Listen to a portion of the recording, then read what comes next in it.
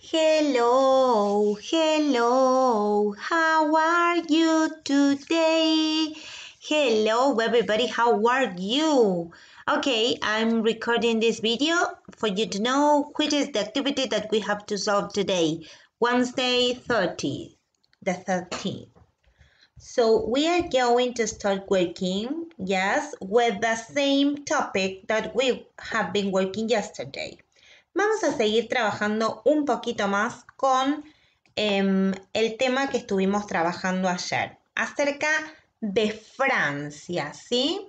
We have been talking about this place, we knew the capital, we knew some famous sports, some famous inventions, yes? So today, uh, yesterday we solved an activity about Juliet, ayer eh, completamos una actividad sobre Juliet, que era una niña que nos contaba que en la escuela aprendía mucho sobre la comida saludable.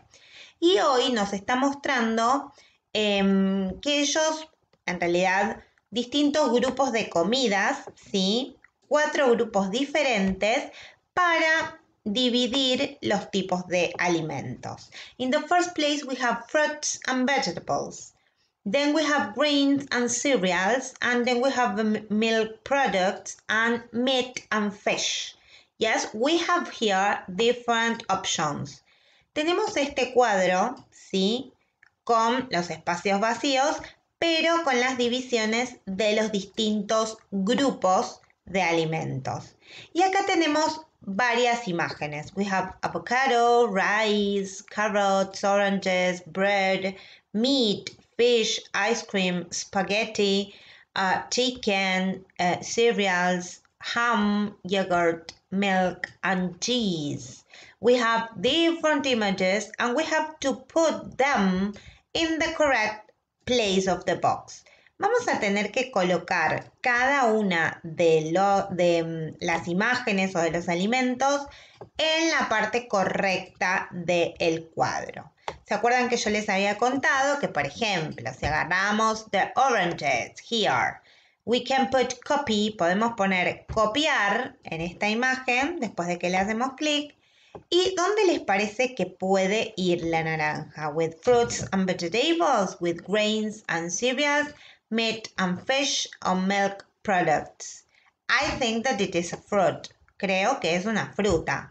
So we can put it here. ¿Sí? La podemos poner acá. We are going to put uh, in this place.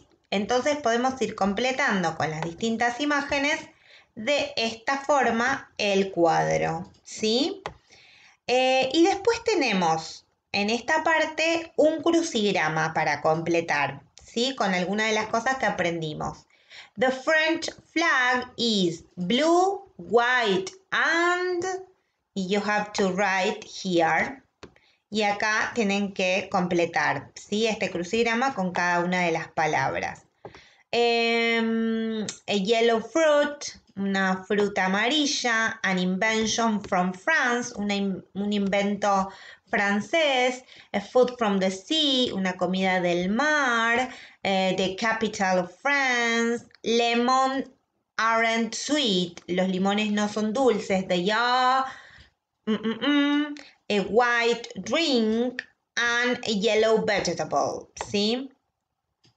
Um, so you have to complete here with the correct words.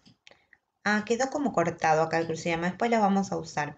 Ah, una cosa que les iba a contar es que en esta referencia dice un vegetal amarillo.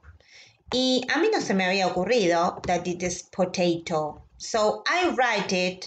Por las dudas lo escribí porque mm, para mí la papa es un poco más blanca que amarilla, pero bueno, en el libro lo pusieron como referencia, entonces vamos a ponerlo ahí porque si no nos quedaba incompleto el em, crucigrama. Y en el medio, en esta parte roja, eh, amarilla, sorry, we are going to find out, vamos a descubrir un mensaje, ¿sí? So you have to write them eh, después escriben acá abajo el mensaje que está escondido, a ver si lo pudieron descubrir. Okay, and that is all the activity that you have to solve today. It is very easy. I know that you will do it really fast. So I hope all of you have a wonderful day. Yes?